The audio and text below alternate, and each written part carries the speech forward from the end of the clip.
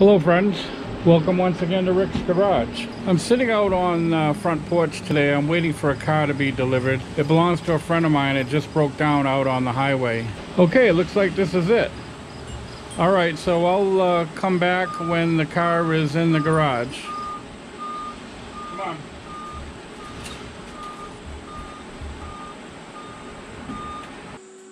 Okay, friends, uh, the tow truck uh, dropped off the car. I've got it in the garage. I've let it cool off completely. The motor is stone cold now.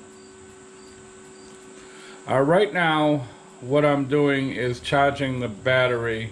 The battery appeared to be a little low. The uh, lady may have continually tried to start it once it broke down on the highway.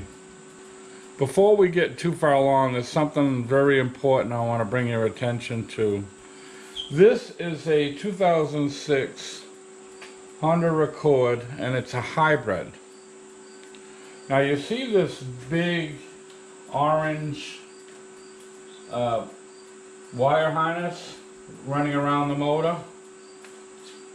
Do not fiddle with that. That is painted orange for a reason. It has extremely high voltage, so high that it can kill you.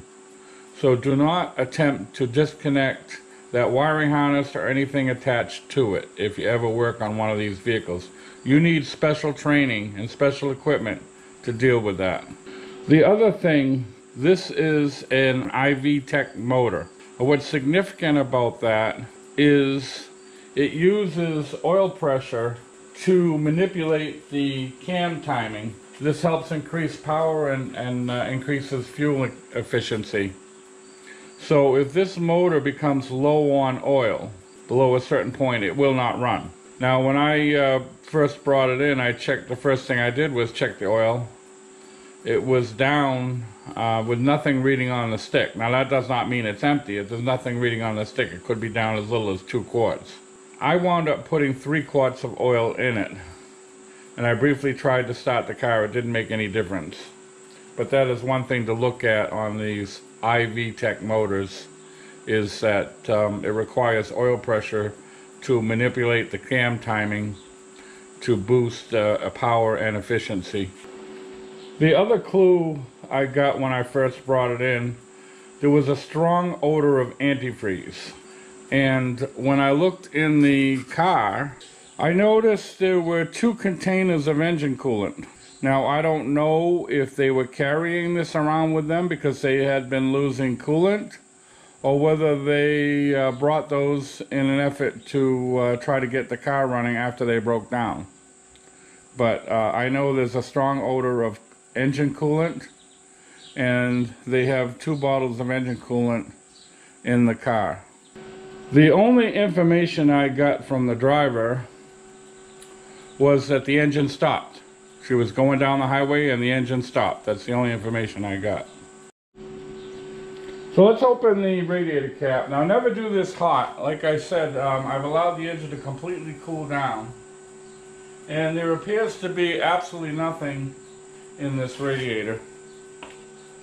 So I'm hoping that what happened, she just let the car overheat and sometimes the computer will uh, sense that the engine's overheating and shut down. I'm hoping that's what happened. Now the car's completely cool now, so perhaps it will start. So I'm going to shut off the battery charger. I've charged it up enough. And we're going to go see if we can get this car to start and see what happens. Alright, I'm ready to give the car a try. Let's see if it'll run.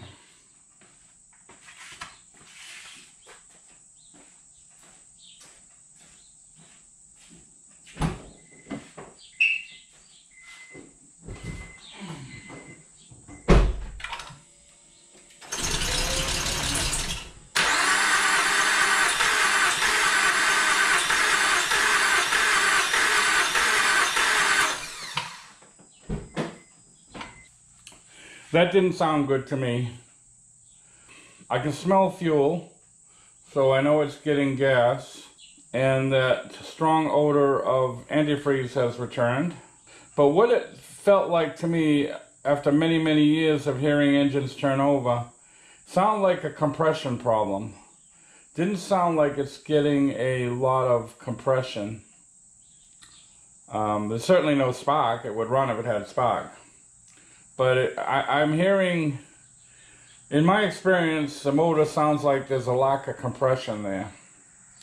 So that tells me two uh, possibilities involving antifreeze. Number one, um, it could be valve timing. Uh, the valve uh, timing could be thrown off by the um, timing belt. Um, that would explain the antifreeze smell because the timing belt turns the water pump. So that could be one possibility. Um, the other possibility, I hate to think about this, but it could be a problem with uh, a, a, possibly leaking head gasket or blown head gasket. Neither one of those uh, situations are very good. I'm going to get someone to um, help me turn this car over and I'm going to see if there's anything going on with this radiator while the car's being turned over. My trusty German Shepherd is here to help me out, but he's not going to be able to turn the car over for me. Yeah. Okay, go ahead and turn over the car. Oh my God. Okay, that's it. That's enough. I've seen enough. Thank you. Okay, so I hope you saw that. Exhaust gases were blowing right out of the radiator. Without the engine even running, just trying to start it. You can see the exhaust blowing out of here. So that tells me we don't need to look any further. It's a blown head gasket. It is not good news. This particular motor would cost a fortune to have that head gasket replaced. And one of the problems is, it's been my experience that when you replace a head gasket, sometimes they don't last very long. You wind up with having the same thing happen again. So uh, I would not trust the car even if I had the gasket replaced. This is a 2006 automobile. It's probably worth two, $2,500, $3,000 in that range there. I don't know what the actual blue book is on it. But I would be willing to bet that it probably cost $2,000 or more to get this head gasket replaced. It's something that I would not attempt. I'm retired now. I don't take on big jobs. The only reason this car was brought to me was because it was a Sunday and they had no other place to bring it. Nothing was open. So I told them they could bring it here. I would take a look at it. If it was something simple, I would fix it. If it wasn't, um, they could come and get it uh, once they make arrangements to for someone else to look at it. I'll have to call them and give them the bad news. Uh, while they're doing that, if they do decide to repair it and replace the head, I don't know which head it is, and I'm not going to try to find out. Um, the next step would be to do a compression check to see if it's one or both heads. The other thing I noticed is when I pulled this radiator cap, the cap was broken. It wasn't working. So that is probably how they were losing fluid, coolant, and why they were carrying coolant with them. And I think they just let it go too low on coolant, uh, overheated it to the point where uh, they warped the cylinder head.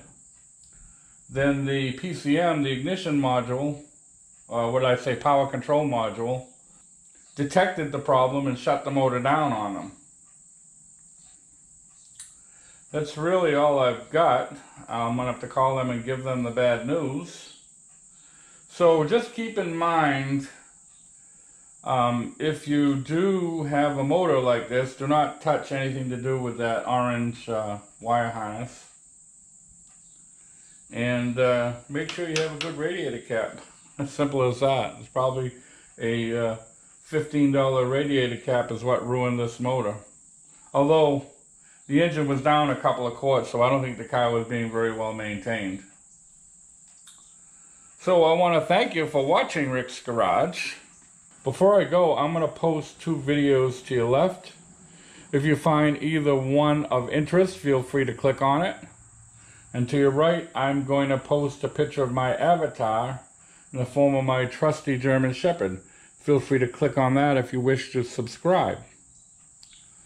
So thanks once again for watching and we hope to see you again really, really soon.